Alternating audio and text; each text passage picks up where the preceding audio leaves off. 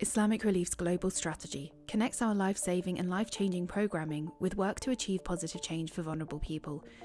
As inspired by our Islamic faith and Quranic teachings, and guided by the Maqasid framework, which stresses that every person's life, dignity, and rights are sacred, our strategy focuses on tackling three root causes of poverty and injustice.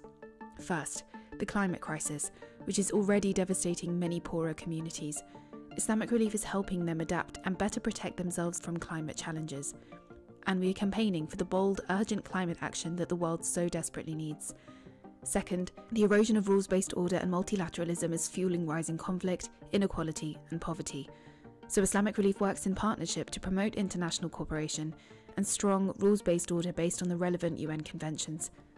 Third, we're tackling the unjust and rigged economies which create inequality, entrench poverty, and drive global insecurity and instability.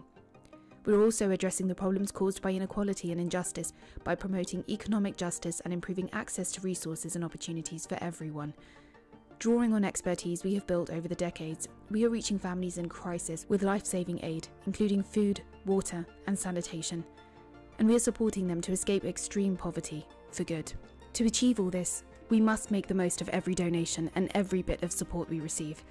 We must improve the efficiency and effectiveness of our processes and structures, and invest in training and developing our dedicated colleagues who are the lifeblood of our work.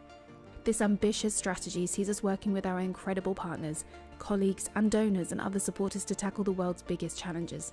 With effective and efficient programming, bold campaigning, and fearless commitment to the vulnerable people we serve.